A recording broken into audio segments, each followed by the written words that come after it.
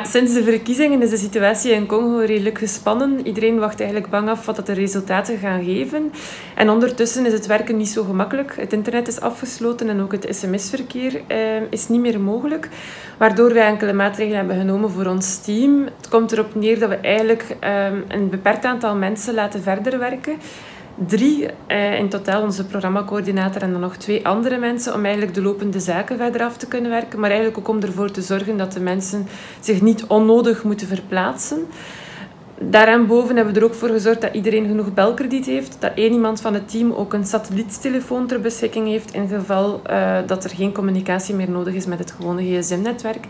En hebben de mensen ook de nodige provisie kunnen inslaan om zeker te zijn dat als er een tijdje niet um, ja, dat het een tijdje gevaarlijk wordt, dat ze zeker genoeg uh, dingen in huis hebben. Dat zijn denk ik de voornaamste maatregelen die we tot nu toe hebben genomen.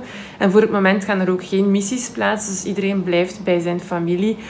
Um, omdat we eigenlijk niet goed weten in welke richting deze situatie nu uitgaat.